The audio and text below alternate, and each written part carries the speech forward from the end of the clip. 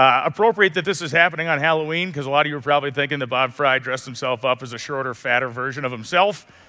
Not, not, uh, not the case. You know, Bob retired off the tour a couple years ago, and he's uh, still coming out and hanging out with us occasionally. But this year he decided to take a take a rest, and I got tapped to be up here. Uh, it is uh, both humbling and terrifying to follow Bob Frey doing anything. So hopefully uh, I do him proud.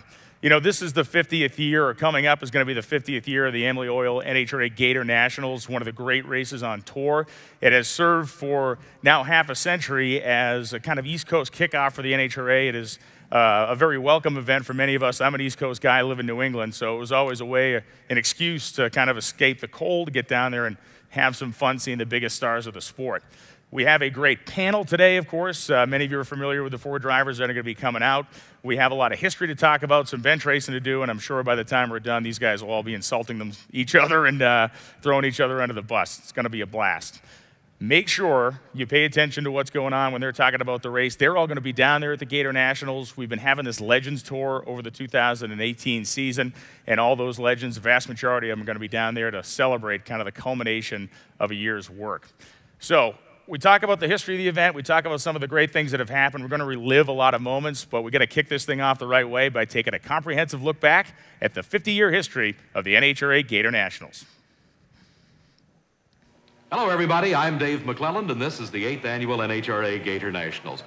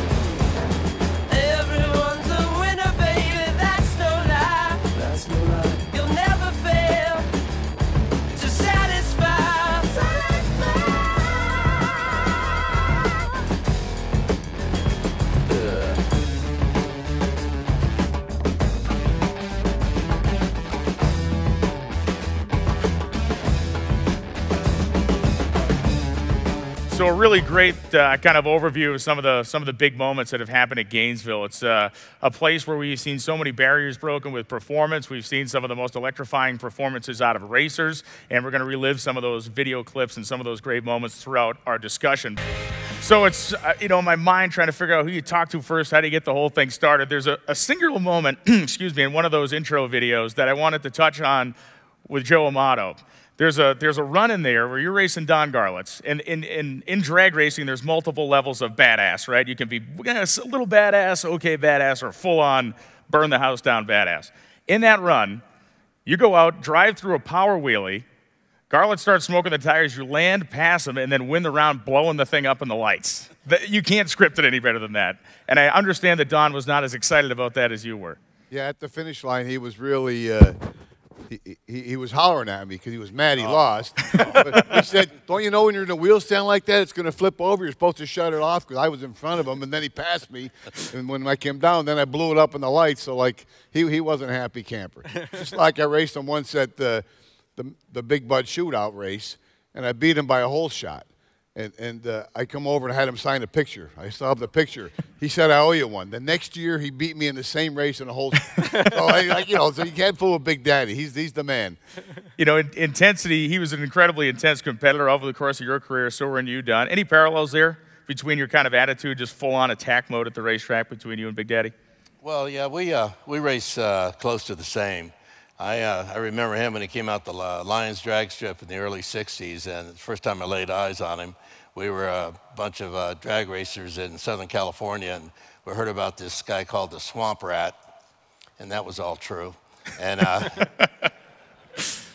yeah, And anyhow, uh, he came out and uh, spanked our ass out there real good in California. And uh, I just learned a lot. I thought, man, that's the guy in my career, that's the guy I want to follow right there. He's, uh, and, and, you do that, you know. I don't care what racer it is or what series you're in. There's always someone, uh, an Ayrton Senna that you strive to be like if you're in Formula One or so on. And I strive to be uh, like Garlits, at least racing-wise, not personality-wise. John, to Snake's point, you know, there was a point in your career where you would not mention the name of Kenny's car. You wouldn't actually, you would just call it the red car.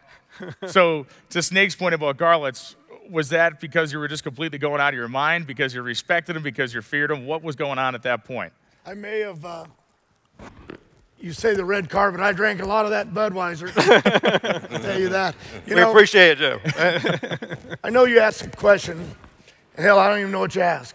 But this is off to a flying start. For me to, for me, good morning. Yeah. I come, I go way back. I'm as old as these guys, and I'm just, they're all smarter actually. They got off this train. I'm too stupid. but that, these were the guys that I, that I grew up dreaming about. Joe Amato, Kenny Bernstein. Y'all know I, I love these guys in Prudhomme. And Prudhomme will tell you every week, whenever we do a show, how he whooped me like a dog. and, and uh, but that was our life. And uh, uh, you, you, know the Raymond Beadle, Shirley Muldowney, Garlits. These are the people that you love and you build your. I'm still trying to catch them. You know what I mean? And and uh, one guy missing here, Mongoose. I wish Mongoose was here. Makes me sad. Uh, and um, but but uh, sit here. I'm honored just to sit here, and that's no bullshit. That's the truth, because these guys are the whole reason that, that I got into this sport, and I'm still trying to catch them. That's why I won't quit. there is a direct connection between you and Mongoose and the Gator Nationals. 1979, you were the number 17 car. You got put in on the brake rule. You had to race him first round. Didn't turn out your way. I can't remember who I remember that. I can't remember who I raced first round in Vegas. So stop this shit. Let's just talk some shit and let me get out of the show. You know, a guy said to me, "Hey, we need a we need a song. We're going to play song. NHRA is coming up. Uh, Cromwell coming up with some some new gimmicks." And he goes, "We're going to play your favorite song right before you run at a race." I got out of the car in one of my crashes this year thought I was going to die. and I walked over, and Safety Safari, the radio was playing, and I heard this song playing, and it just registered. So this guy come up to me and said, "What is your song?" And I said, "I don't even care take this job and shove it. and, and, they played that song. I was so embarrassed. Oh.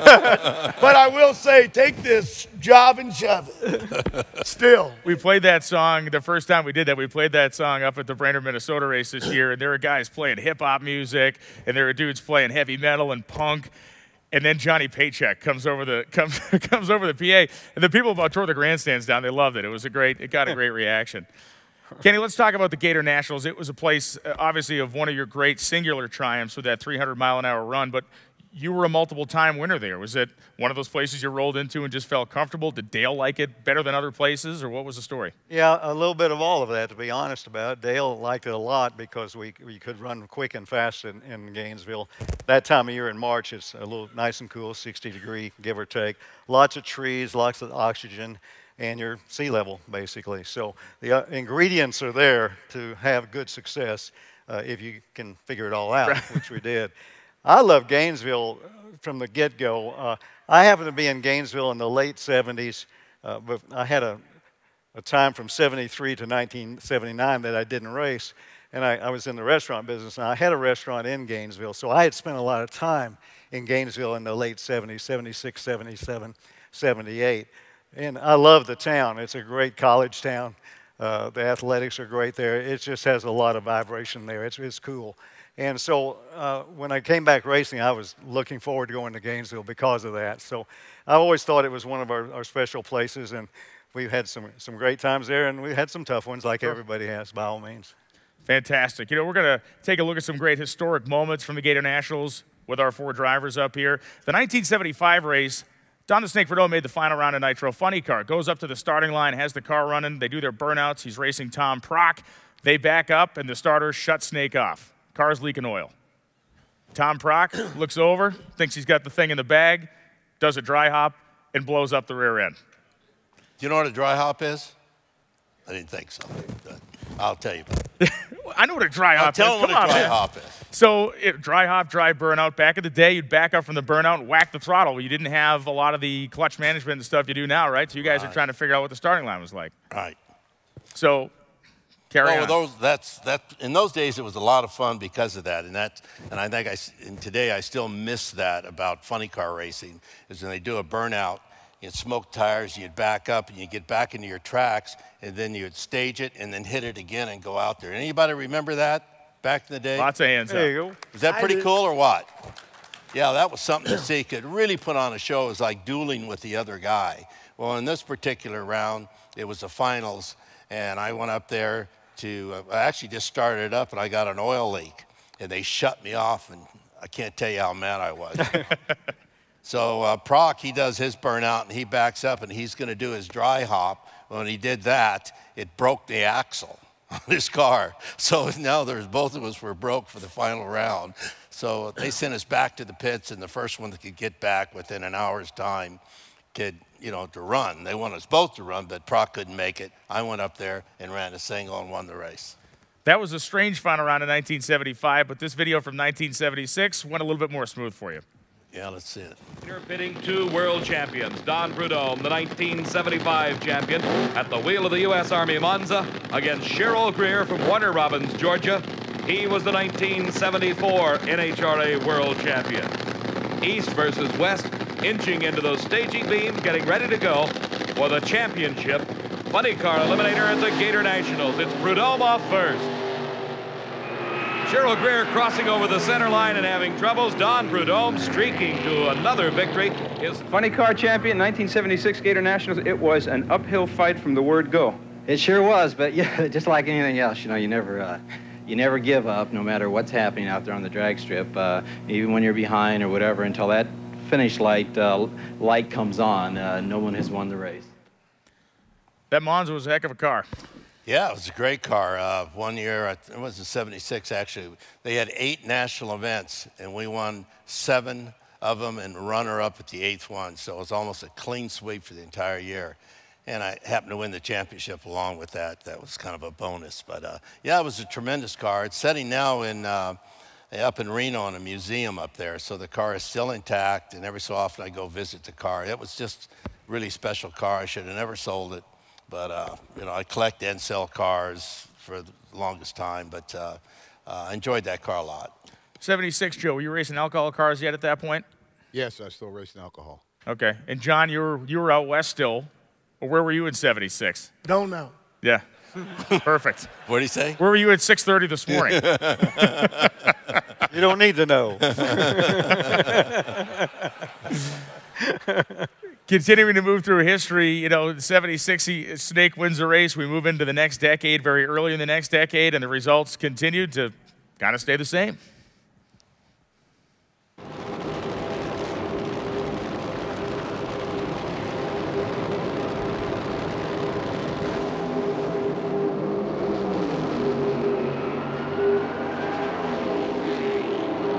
When the max gets tough with a 599, the snake just gets a bit tougher with brand new national record at 594. Congratulations. This deal's getting plenty serious, isn't it? You got a lot bigger smile this round than you did the last one. yeah, it's uh, it's coming around. You know, we just got to run so damn hard to to make it perform, but got to do whatever it takes. You know.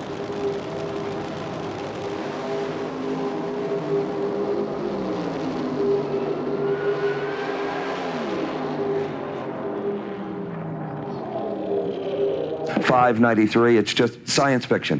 Well, it's the track's been tremendous and everything's working out pretty good so far. What happened on the starting line? I'm not. I don't know. The the uh, tree got a little bit messed up, but I just left when the amber came on. We're all right.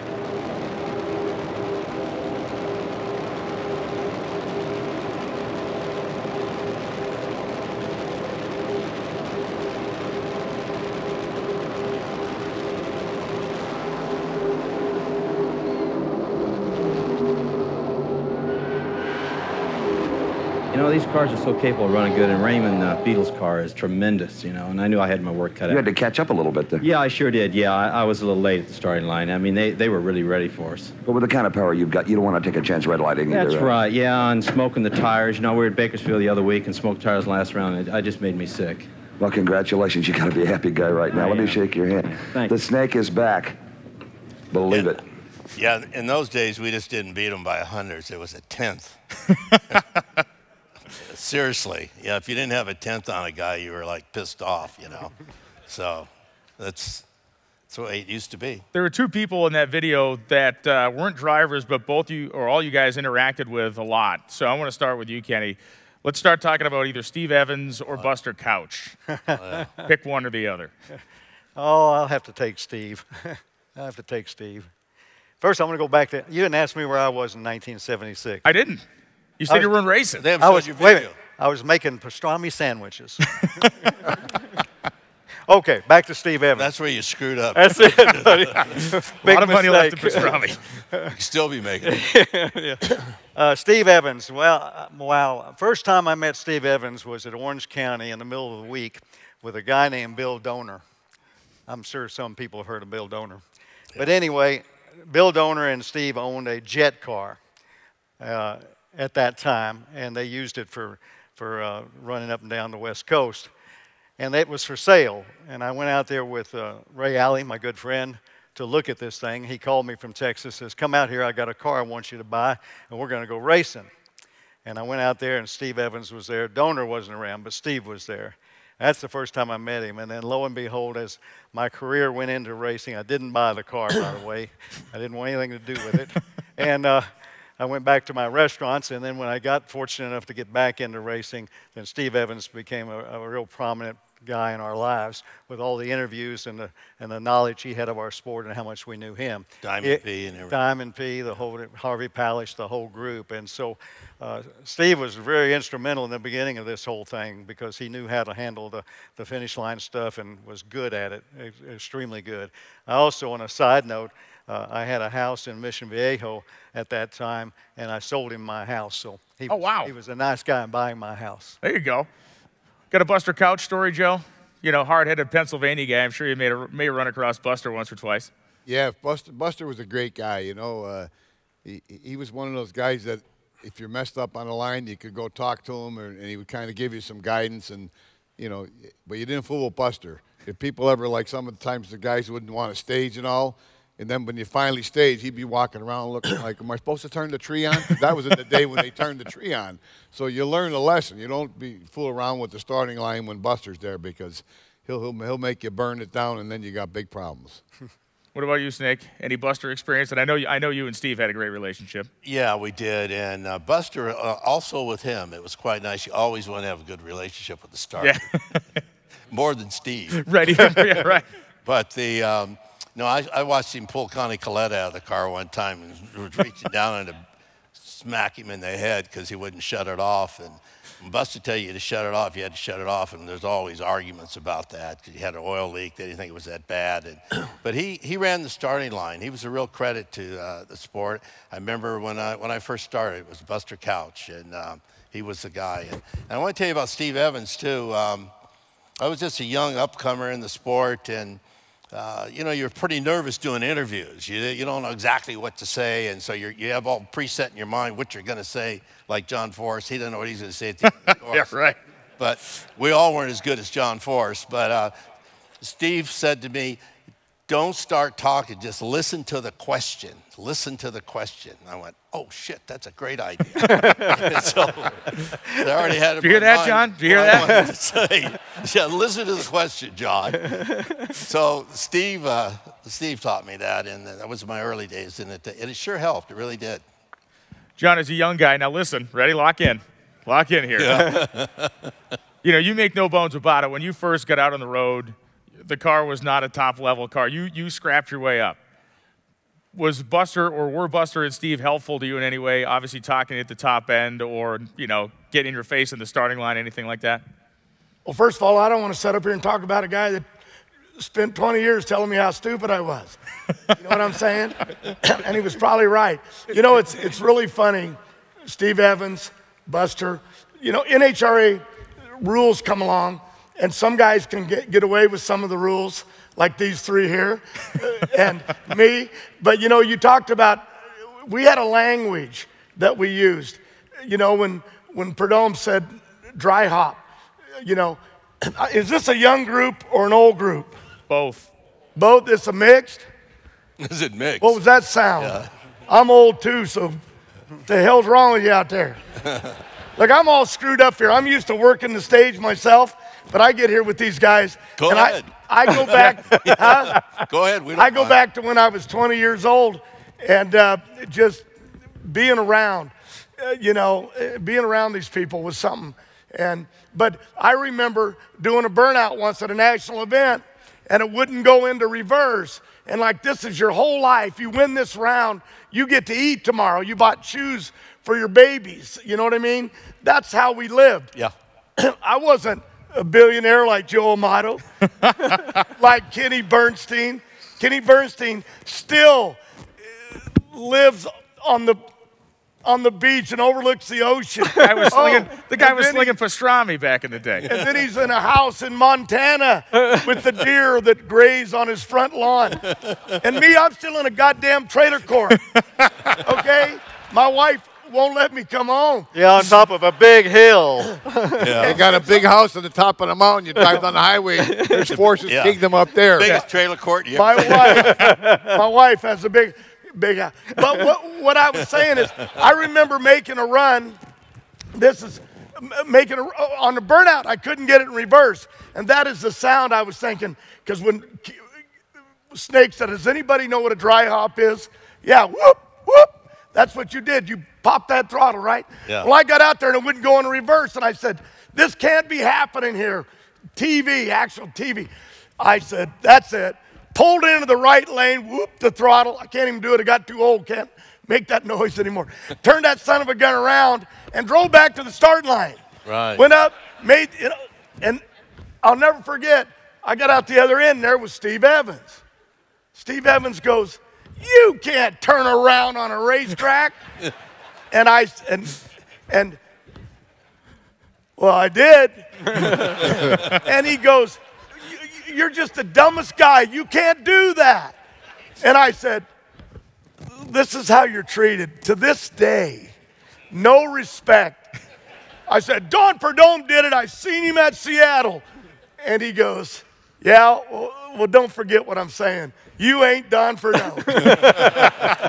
They make the rules as they for their heroes. Those guys love these guys here as much as I did. That's what's really pathetic. My my PR people are out there saying, "Force, talk about yourself." Sorry, guys, I can't.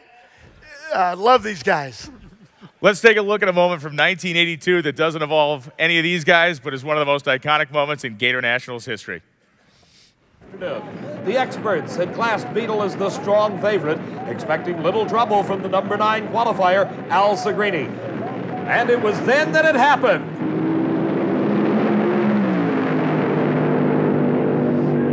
With incredible skill, Beadle regained control and drove the car to a stop.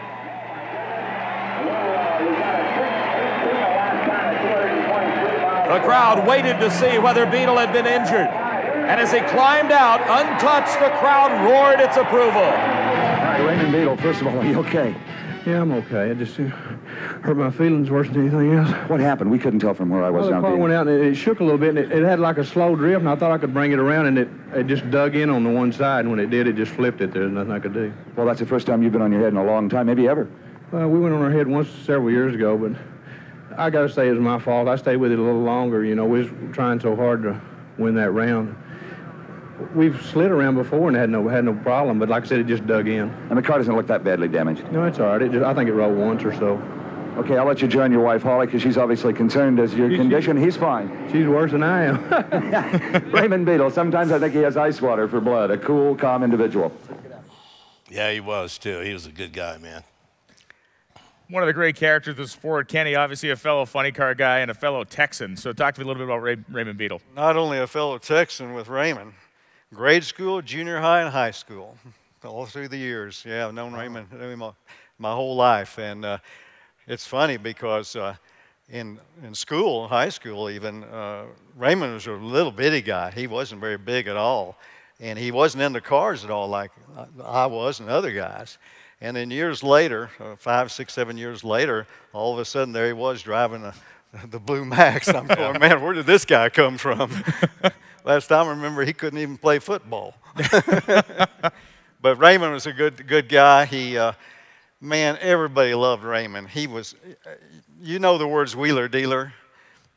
He may be the king of wheeler dealers. Man, he could he could really get it done with almost anybody, anywhere, anytime. He could.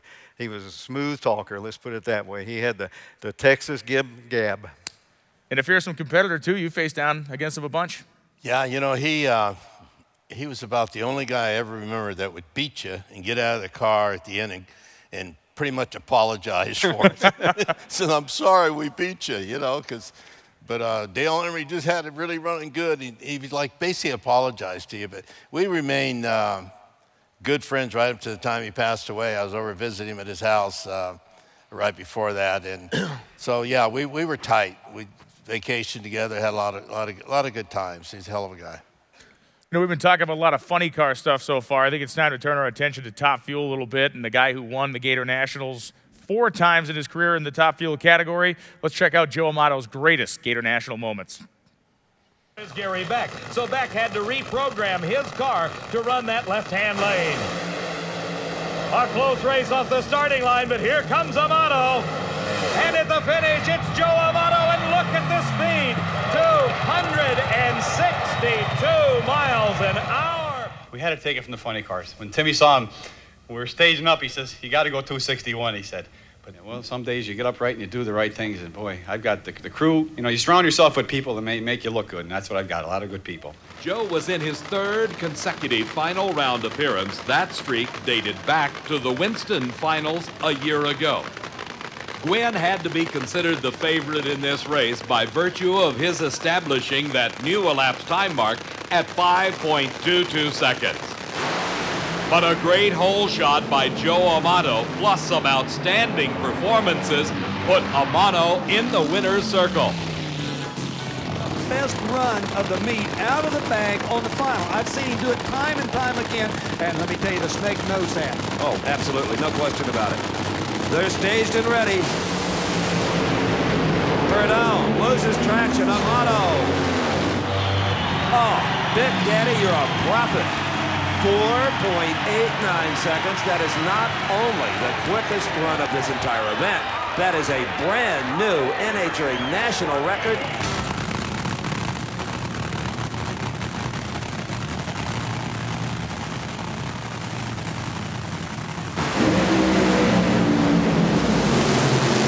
Oh, look at Dunn get that thing up in the air. And he had a lift for just a minute. Brought it back down. Amato blinked the bulbs a bit on the starting line. Thought that might cost him. But Joe Amato gets the win. 465, 312. That's the reaction time on the right side at 460. But But my crew, I can't believe, you know, we got up there, we started the car, we did the burnout, we're backing up, and there's oil on the track from a little leak. We had trouble, you know. I mean, it was like troubles never ended. Troubles never ended. I was like, you know, we had to get the motor running. Unfortunately, this show has to end. So, Joe Amato, congratulations. Let's go back to Bob. you know, as an East Coast guy and as a Pennsylvania guy, do those I know I know which wins mean the most here. Those are the ones at Maple Grove. But where do the Gator Nationals wins stack up for you, Joe? Well, that, that was always a real special place because it was like all the people that came down, the, the winter was over, and there was a lot of fans from the East Coast and from Pennsylvania and all.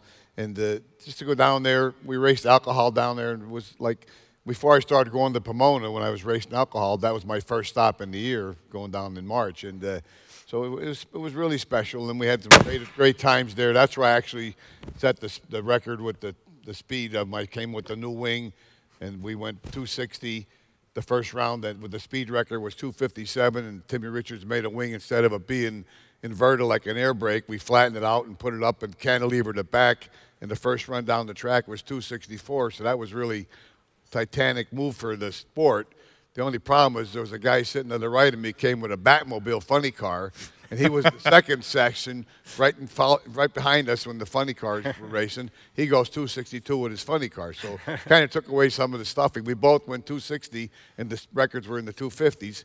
He had the Batmobile, I had the funny wing, so. But we've had a lot of good battles with some of these different people, and you win some, you lose some. Steve Evans is always telling me I talked to him at the finish line. he, he, you know, he never said that the Right. first though, so he lets him babble. Yeah. Um, he would tell me, "Oh, we got to end the show." You notice that? but, but Force is out there, he babbles, so he, he got it out. Well, see, the thing was, the thing was, they probably just shut the camera off when he was going out. He does. They didn't know. some respect. I Yeah. mean, he's the winningest guy out here with championships and races and all. I mean, he's he's a legend in in, in his own mind and in ours too. he's always he's always telling us about he's proud of us, but believe me, this guy he's still at it. He's older than dirt, and he still climbs in the car. He almost got killed several times. It, it, I keep saying, when is he going to get smart and get out of there? But it's in his blood. They're going to take him out in a box someday. He's got his kids racing. I, I give him a lot of respect. He had girls. I figured nobody's ever going to drive. Now he's got all the girls winning and racing, and that, that's pretty good. I gave him a lot of credit. Well, what Joe was talking about, yeah, that was very kind. Joe actually set us up perfectly for the next video that we're going to come back and talk to Kenny about. But the battle for 260 was forged and won in 1984. Joe Amato's latest speed secret is really not very difficult to find. It's the most radical, tallest wing yet installed on a top fuel dragster. Why is it so high? Well, Joe says it's to get it into clean air. That if it's down in the conventional location, there's an awful lot of turbulence from the engine, from the exhaust headers, and there's not clean air as you'll find up here. Now, the pressure on the drivers. They concentrate on the Christmas tree because the start is all important. A few feet of advantage at the starting line may turn into a car length or more at the finish. And it's up in smoke for Ormsby. Amato heads to the finish line and wins the race, and he has done it. 260 miles an hour for Joe Amato. His elapsed time, 5.58 seconds. This car has been in the wind tunnel and it's got a lot of developments that Kenny says are going to make it one of the fastest funny cars ever built. Qualified number two and is now in the finals against Bernstein. Into the staging beams, both cars leave on a green light. And it's a very close race. Kenny Bernstein in the near lane begins to pull away. And a tremendous run. And ladies and gentlemen, 260 miles an hour by a funny car as Kenny Bernstein shatters all performance standards for speed. That was awesome. Yeah, it was a hell of a run. the wind tunnel, the the design, your relationship with Dale Armstrong, it all really came together during during the 1980s. Yeah, it did. Dale, I give every bit of the credit to Dale and the crew, period. But uh, Dale was the driving force behind all that.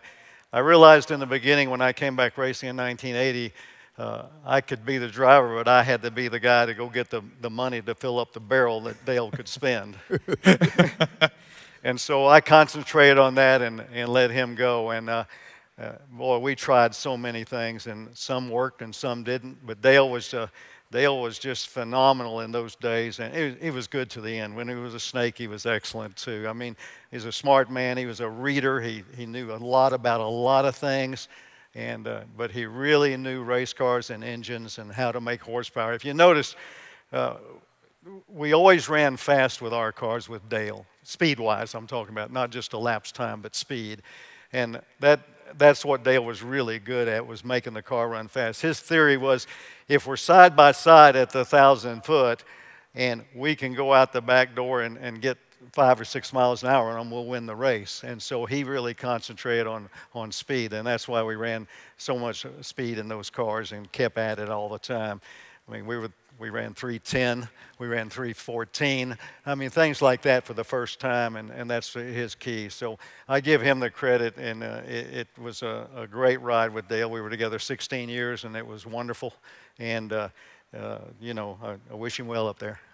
Snake, uh, what was your relationship like with Dale? You know, he seems like always kind of seemed to me like a kind of a quiet, uh, you know, quiet type guy. Was he that way behind closed doors, or was it uh, was it different?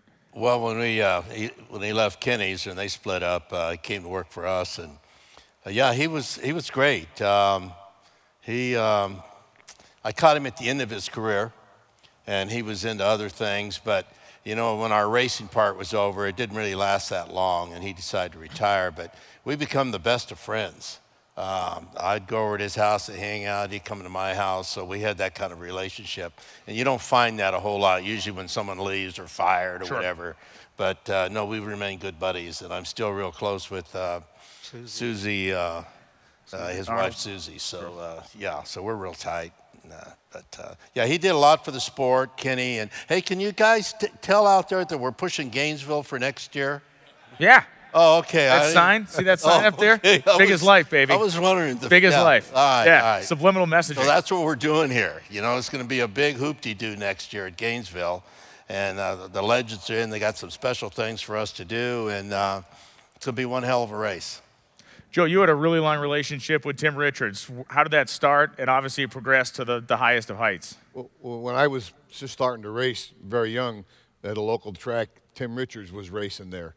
He, was racing uh, Hemi and Wedge cars, and he actually designed the transmission for Chrysler to you can do the neutral start. And, and he used to work in a machine shop, and I was racing, and he used to machine some of my stuff. He would take pistons in and cut them and different things. And then one thing led to another, and I was run racing sports car. I had a double A altered, and I wanted to go racing alcohol. So I talked him into coming to work for me to, to race alcohol. And uh, he, he retired from his job and came, became my crew chief on the alcohol. And we did alcohol funny car for many years. We were running all around the country, match racing, racing with Smoker Smith on the East Coast, all these crazy places. And then we decided we wanted to go top fuel racing. So we built the top fuel car, and he kind of came in and took care of that. And so we had a great relationship through the years. And he won four and a half of my championships. He had me leading Indy, and we had he was going through a divorce. That was probably one of the most uh, stupid mistakes I made. I didn't understand it until I went through a divorce. What it's how you get messed up in the head. And, uh, I, I couldn't understand. It'll do that to We weren't- you. We weren't do, do, doing right, and uh, so I, I parted company with him. But he ended up winning, and I ended up finishing that year, won the championship. We got lucky, and uh, Doug Herbert came along and helped me with tune the car and stuff. But uh, he was a great, great guy. You know, going back to we were talking about Dale Armstrong. Back in the '80s and '90s, he was the guy that always came up with the trick stuff, the clutch, and all this kind of stuff. Because in those days, you could take a top fuel car and you could change the wing, do aerodynamics on it. I mean, you could do things No different. rules.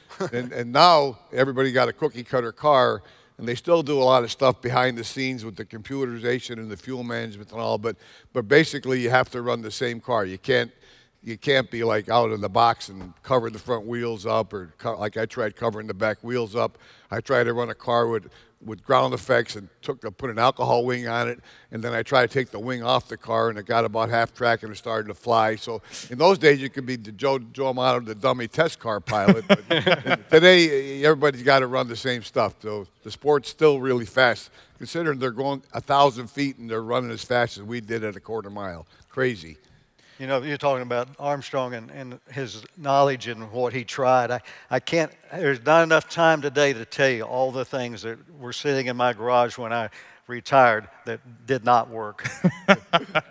but Dale Or had got, some, or got they- banned before you got a chance to try it, right? A lot of trophies, though. Yes, it, did was, and, it, and and that's the thing is, Yeah. you throw enough against the wall, you know, and some of it sticks, and that's why I, I stayed there and let Dale go. It was wonderful. Yeah. We're going to fast forward now to 1991, and we're going to talk about funny car. John Force has been in a lot of funny car final rounds, but I don't think he's ever lost a funny car final round to an uglier car than the one he lost to in 1991.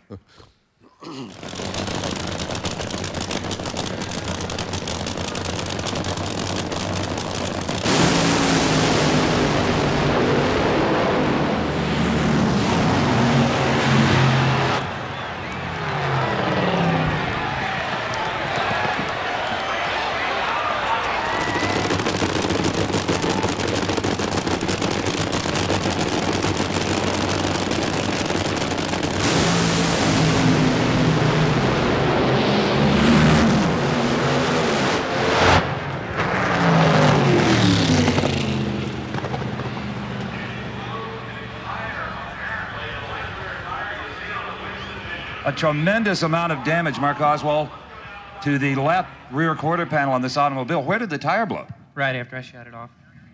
What do you think caused it to blow? I don't know. I was looking at the wheelie bar and things like that. Everything's intact. Uh, it was spinning the tires a little bit. No real reason. I guess we'll just have to look. Do we have a body for it? No, we don't. This is a brand new car. We just got it done in time for this race. It's it's a real shame to you know. I really want to do it for Jeff and Susan this weekend at In and Out Burger. You know, they've been so good to us, and uh, I'm real happy over here. It's just a shame something like this had to happen to their brand new car. People at home might be saying, well, can't you fix it? No, you, you couldn't fix the body. The chassis, I'm sure, is just fine. Is this a carbon fiber body or fiberglass? Yes, it is a fi- carbon fiber body. And the downside there is uh, you just can't fix them on the road. They have to go back to the manufacturer. The good old fiberglass bodies, well, you might have had a shot at it. They may not be giving up quite yet, though. Let's not throw in the towel for them. They got any pieces? Any of the big charge?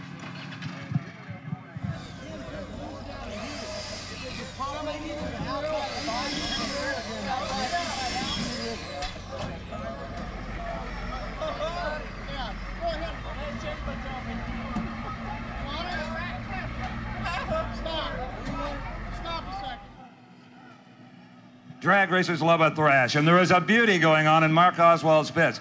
Even if Oswald had wanted to quit after the exploding left to retire, his friends and members of other crews would never have allowed that.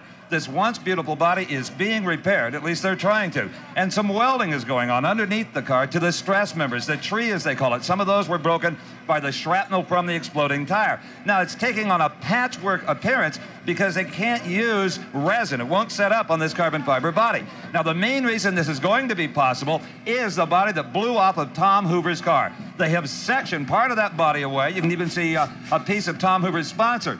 Without resin, they're using pop rivets and quarter inch bolts and aluminum plate and the famous 200 mile an hour duct tape.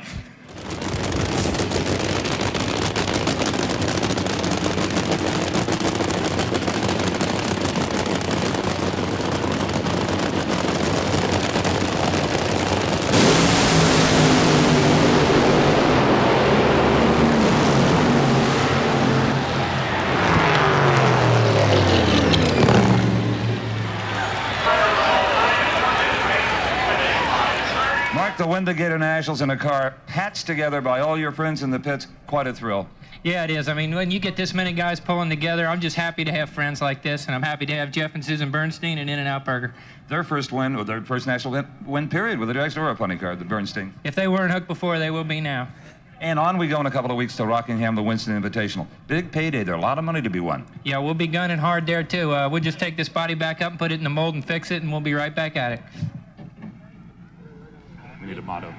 Need one more with motto. Now, you're, you're going to tell me you don't remember anything about that. So I'm just, but I'm going to ask anyway because I'm an idiot. Do you remember anything about that? Favorite hamburger, In and Out Burger. wait, wait. Let me jump in here for a second. A couple of things. Uh, I didn't know we were pitching the Gator Nationals. yeah. Thank you. Yeah. Thank- Sorry, NHRA. I should throw ARP in and and and Gates belts and everybody. They got a guy out here in the parking lot. We we're from the old world. We had we have the awnings that we've had for hundred years. You know what I'm saying?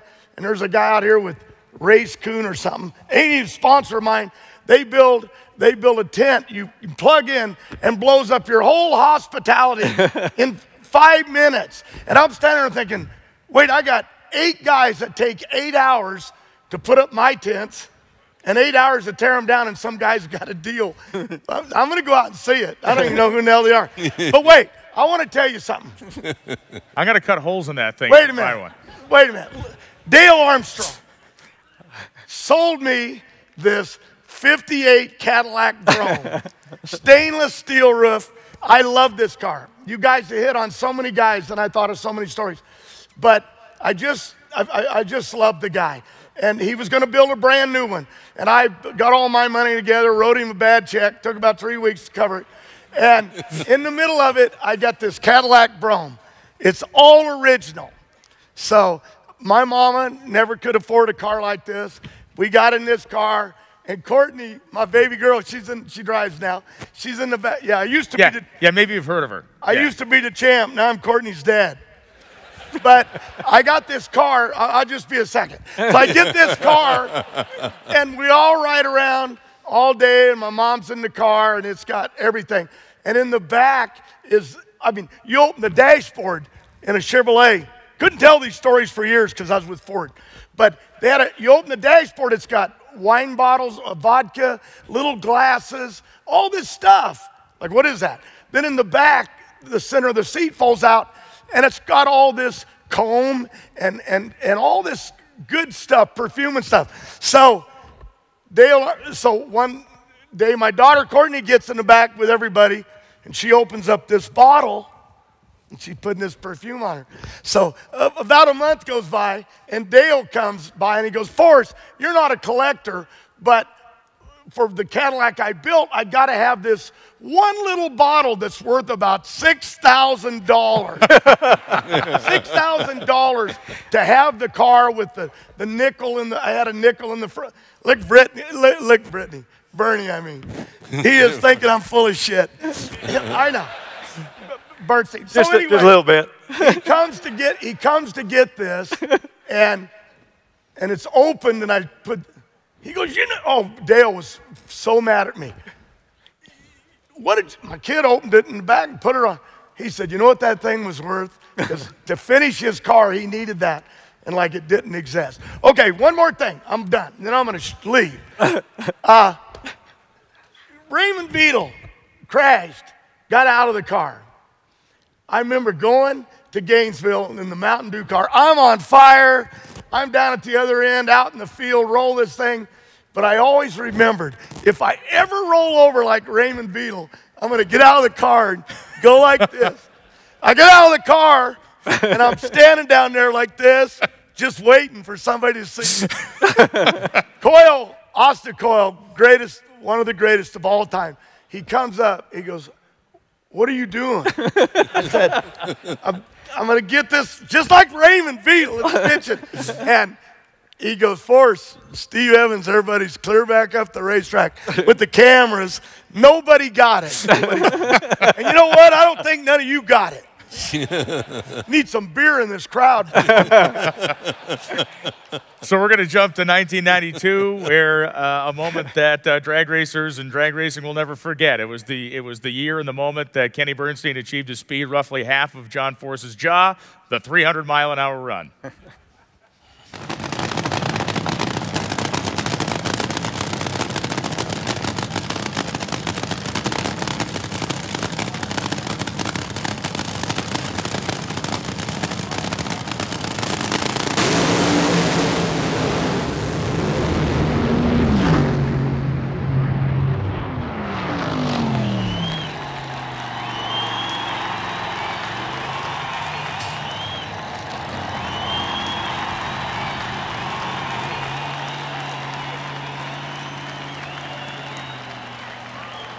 Connie. And one of the most impressive parts of that video at the very end, you actually see Connie Kalitta smiling and, hug, and hugging someone. That was the one and only time I think that may have ever happened in the man's life. But Absolutely. You've told the story many times, and, and, you, and it was told very Right. nicely in your intro video. But the story I really love about this is the after effect of it, because it wasn't the internet age. It wasn't something everybody found out about it the next day. And really, the, the reaction was maybe a little delayed, but it was huge once everyone found out. Yeah, it was. I, you, you wouldn't think about it being that way. Uh, uh, it was something we were, you know, really important, and obviously, uh, uh, uh, for the sport, it may be the last barrier. I don't know. It could be, but whatever. But where I noticed it the most was at that time I owned a NASCAR team, a Quaker State team, and the next week I was in, uh, I think it was Rockingham, somewhere down there in the south, and we were racing. So on my off weekends in drag racing, I'd go to that team, and I was a spotter for the team when I would go there uh, and not racing. So I, I was walking up the stairs, up all the way up the grandstand. They- put the spotters way on top up there. So I was walking, and as I was walking up, all of a sudden this this roar starts going about King of Speed and congratulations and way to go 300. That whole that whole group of people followed our sport, and I didn't even realize that at the time. I thought they were just NASCAR fans only, but it was just unbelievable. That's when I knew that that was a, a pretty special thing we had accomplished. Snake. Made me, made me sick. I was gonna say- I was gonna say. It made, it made a lot of people Yeah. sick, Snake. I'm I still- sorry. I still How crazy was Kenny in his day? He raced Top Fuel, he had a NASCAR team, and then he had an IndyCar team. I He's a guy who he hates was going- money. He was going week to week from different tracks. I mean, like I don't know how he kept track of all that, but I mean, that, congratulations. That's like a lot to do and to handle. And he, he dug up the sponsor money and made it all happen. I think he had a, Bu- a Buick engined car on the pole at Indy. And then the first round of the race, the first lap, they were warm up lap. The guy was doing back and forth, and he spun it out and crashed. If I remember, That's he right. probably had to have a heartbreak then. No. You had to bring that was- up, huh? Yeah, I had to bring that up. Yeah, yeah that, that was 1992 also. So in that 1992, from March until May, uh, f- May the 30th, or actually May 1st uh, uh, on qualifying, or 15th, whatever. In those two months, we broke the 300 barrier and won the pole at the Indianapolis Motor Speedway at, uh, at uh, uh, thr how fast were we going? 290, two, what did I go, two, It- it 230, excuse me, 233 at Indy in four laps. That was the average.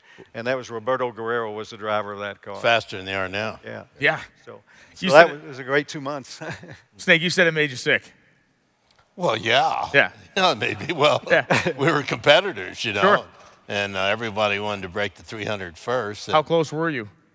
Well, we were running, you know, 293, 295. I mean, right there. But that little bit, that five mile an hour, somehow or another, they just squeezed it out of it. And uh, that yeah, was that was a unique deal then, Snake. It, it really made Garlits. oh. Yeah, he, was- did a double back. He was he was pissed off. Yeah, He hadn't talked to me for two or three years. Yeah, he said the, clock, the clocks are phony. it was, I'm serious that I can be. yeah, Yeah, yeah. it was a great run. So we're going to pick another story up in 1992. It was the beginning of a half decade of dominance for John Force at the Gator Nationals. This is what 1992 to 1996 looked for for the man on the end of the on the end of the panel.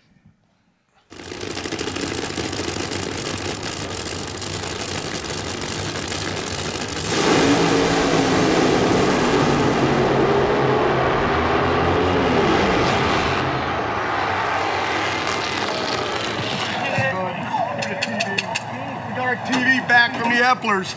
Yeah, we got our TV back.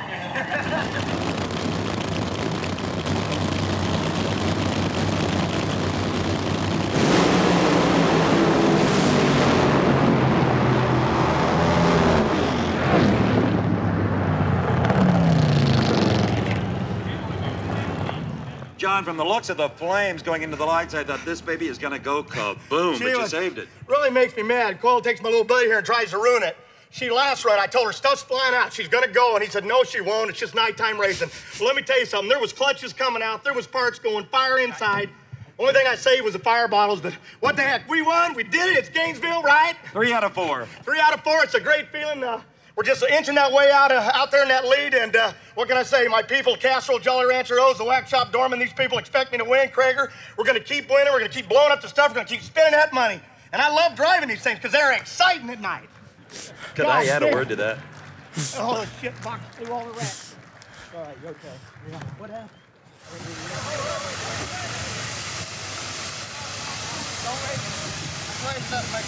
I want to get him off there first.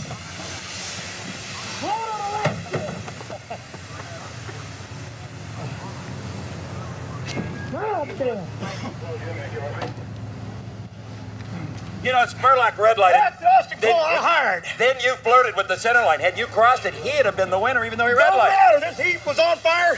Stuff was flying out the roof.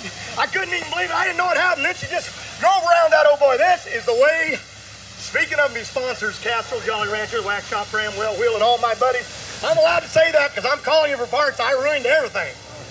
And it still hits it over there once more. Hey, I think we're in the points lead. The nightmare continues, kiddies. I did that without an 800 number.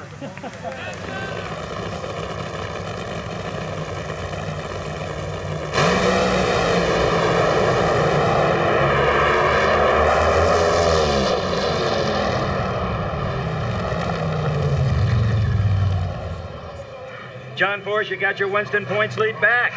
It's a great feeling. It's fun racing a kid like Scoots. He's got a lot of heart, but my old Pontiac, she romped out there, and that'll keep Castrol, Jolly Rancher, Craftsman, all the boys happy. She ran good. We struggled all through the rounds. Clutch was coming out again. I didn't think she was going to make it, but we're okay. All right.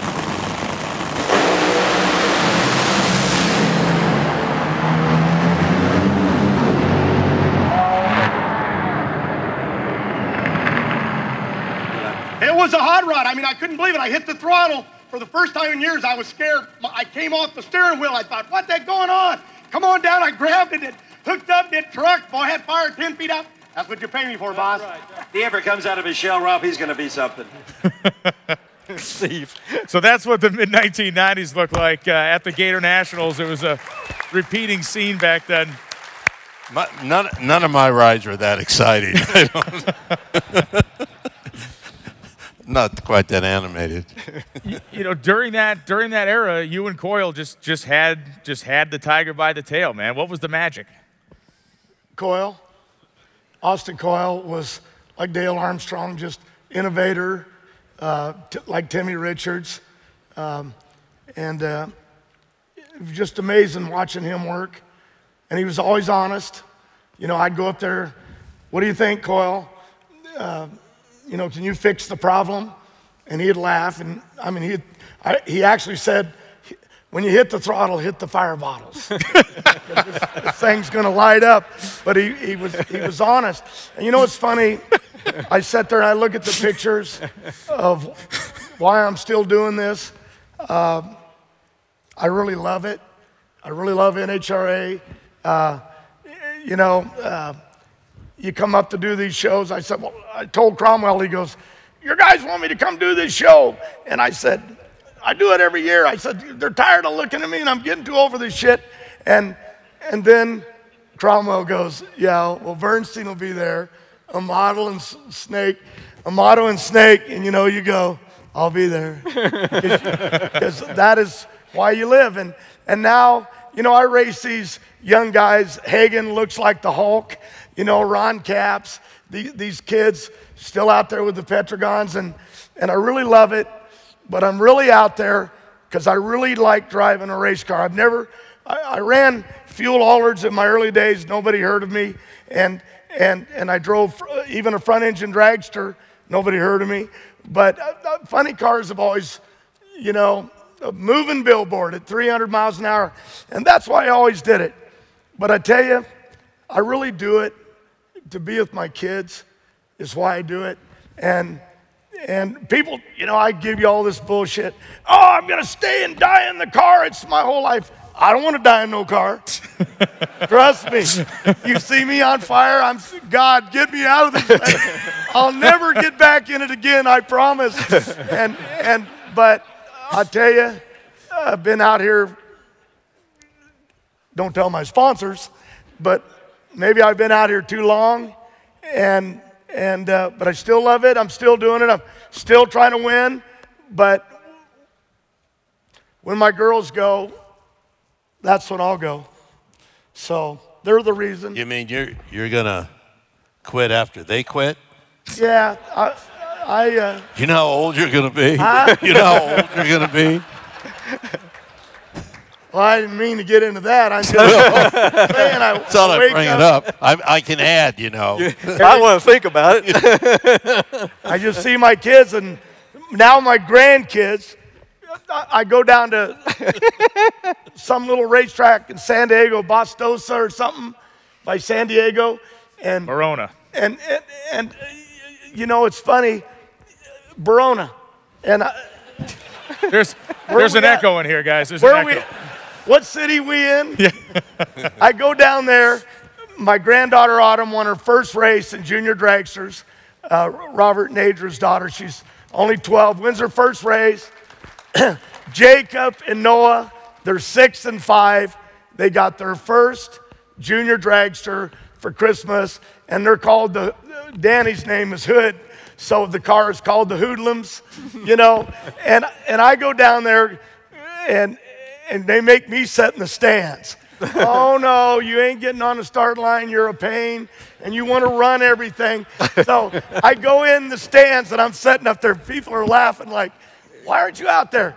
So my granddaughter wins. They finally let me go get in the winner's circle, but Jacob, to show you how these kids, you, you see, you'll see Noah standing in front of the TV and, and, you know, cars are coming up the stage and he's bringing them in. Now, Jacob wants to be a driver. Noah wants to be a crew chief.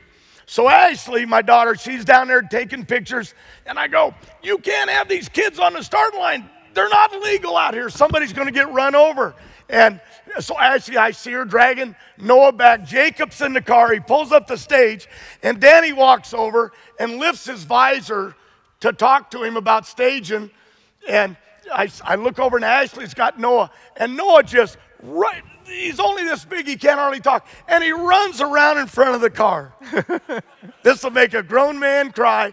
He beats on the hood. And I'm thinking, oh God, he's going to get run over if that kid hits the throttle. And he's beating on the hood and he's looking at his brother. and he's going like that. So, man, I got to stick around a while, but that's my whole life now, my grandkids. But he's beating on hood. And I said, Didn't you see him out there? He's going to get run over. Just like you and Brandon watching you guys. Uh, I just love him. I'm backstage and I started to say, Where, Kenny, where's Brandon? and Brandon goes, Stupid. I'm right here. He's standing right there behind me. I got so caught up seeing. I love you, Joe Amato. I'll tell you what, we got one last clip to play, then we're going to put a wrap on this thing, and uh, we're going to get some impressions. But the 1997 Funny Car final round at the Gator Nationals, and it's kind of a great way to wrap up this 50th deal, was one of the craziest finishes of any NHRA race in history. It involved a guy named Al Hoffman that we'll talk about in a second, but watch Al Hoffman win the 97 Gator Nationals at a big cost.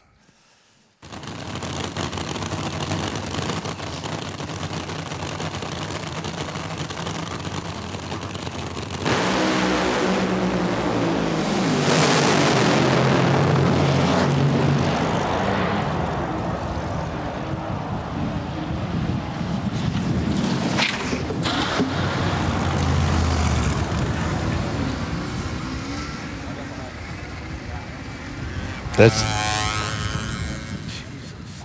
that's serious. Yeah, that was that was serious business. Al did have to go to the hospital after that. He ended up fine. He ended up back out in the race car. But to win a race like that with the thing just a complete inferno, not a situation that all you guys are unfamiliar with. You've all kind of been there. But I would like at least one Al Hoffman story from somebody up here because that guy was that guy was one in a million. Fire fire at will. I fought with this guy. This guy was a real racer. I fought with him my whole career, and I did these cars with Action Collectibles. And I remember th- that I had um, a Frankenstein on the front of my car, on the hood, picture of Frankenstein. And Al went over to my car and he goes, he kicked my car, and he goes, Hey, Force, they finally put your picture on the car. you know, and then I, I got Elvis, and, and you know, he, he was always that way. And I thought, this guy has no friends. Nobody can like Al Hoffman. It's impossible. He ended up in the hospital in Gainesville, and I went to the hospital because I cared about him. He was, he, was, he was like these guys. He did it all, right? And I got there, and they said, You can't go in, it's only family. And I said, I'm going in. I raced this guy, and I got in there, and he's laying on a gurney. And he, it was just, you don't ever want to come see anybody in the hospital. They don't look so good. And I'm sitting there, and he looks up, and I mean, he's he's dying, and he goes, "You just come down here to steal my ink." I said, "No, I love you." He makes this shit up. I know he does. what? You make this shit up. You No, can't. No, I don't. You, come on. No, this really, no. Oh. Well, no, I'm going to tell you this. Nobody, nobody could like this, the meanest guy on the planet. and then this lady comes in, and this little girl, and this little girl starts talking to him, and I'm like, oh my God. Like, I don't know Prudhomme. I don't know. I used to drive to Northridge and Friday nights and park outside his house, and we'd sit there, me and my guys. Yep, he lives in there. You know what I mean? And they're they're like gods. And and and Kenny, I'd go down, you know, and sit at the beach out in front of his house because I wanted to see him. I told you to use the lounges on the patio. And, and Joe Amato, this some bitch owns a golf course or something. like this is really amazing. But anyway, so Yeah, I told yeah. I told Al, I don't give where are you going? You ain't going nowhere, set still. I, so I said to Al, I said, I'll send my bus to get you and take you home. He lived down in Florida somewhere. So Bob Fisher, my guy, they got him out of the hospital and they drove him down to Florida and they said, Fisher called me.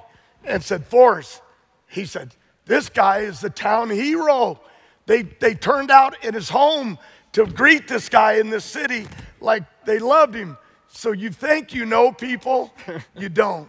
And uh, anyway, enough. I'm sorry.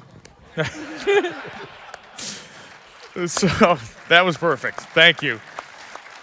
So traditionally, we give some stuff away at the end of this deal, and we're going to do that again here. Now, we're not giving you free tickets to the 50th Gator Nationals, but we are giving away some free tickets to the World Finals next weekend. Those of you that follow the series know that Steve Torrence is showing up for his coronation, basically. He locked the championship down and locked it up just down the road here in Vegas. We got a great battle going on in Nitro Funny Car. We got a great battle going on in Pro Stock Bike.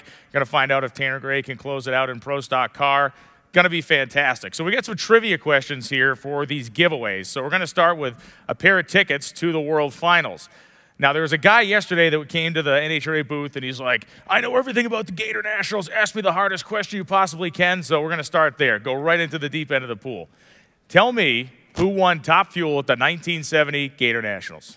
And you got we have microphones here, so we will pick you out. We'll pick you out in the crowd. Hopefully, my hero trivia guy is not climbing under the table right now. We got two guys with a hand up over here. We have to sit here? I don't know. Garlits. Get out of here. You're on. Next. This is a tough one. The guy that won it's his only national event win. Okay. In what year? 1970. 1970. You got it? Dave Chenevert, that is correct. His one and only NHRA national event win. That's that's heavy duty stuff. Dave Chenevert, Very good. the 1970 I top saw three guys champ. do it out there.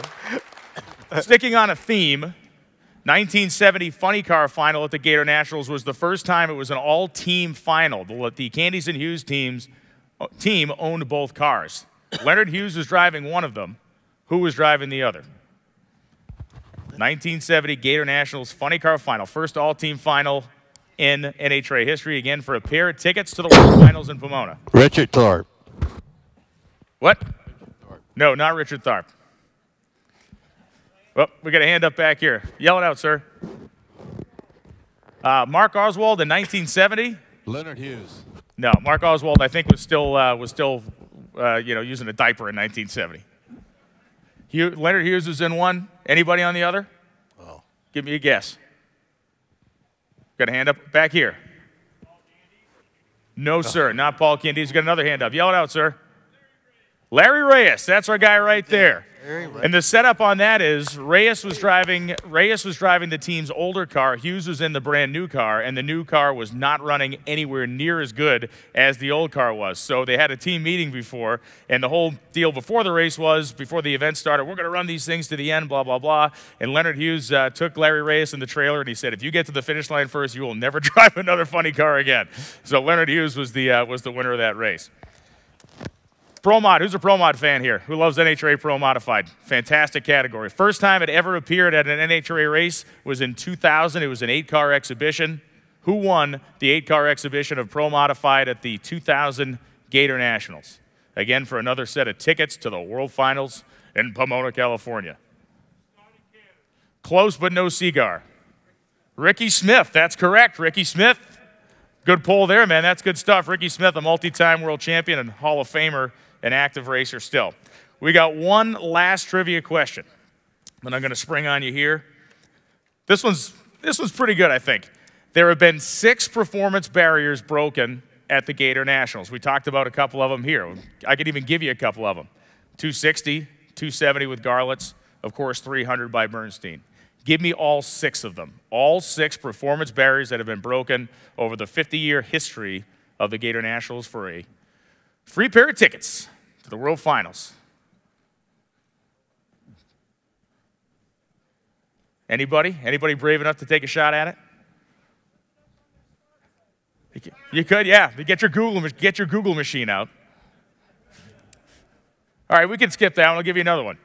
Going back to that 70, that first year in 70. The NHRA season had four races before 1970. They added three additional races. They called it the Super Season. It became a seven national event series. The Gator Nationals was one of the three races that was added. Give me the other two.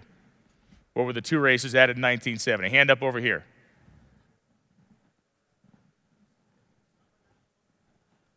The Summer Nationals and the Super Nationals. Very well done. Summer Nationals started out in uh, 1970 at the, they were contested then at US 30 Drag Strip at York, Pennsylvania, and then the Super Nationals at Ontario Motor Speedway. So I hope you've all had a good time this morning. It is uh, fantastic for our panelists. Please let the panelists a huge round of applause here, sharing a lot of great history and stories, getting themselves out of bed early as part of this great tradition here at SEMA. NHRA World Finals going to kick off next week. If you're in the Pomona, California area, come out and hang out with us. Going to have a great crowd out there. And remember, next March, for the 50th time, the Amalie Oil NHRA Gator Nationals. Thank you all for coming. Have a great show today. See some cool stuff. Make a couple of bucks. That's the nature of the business. Thank you all very much.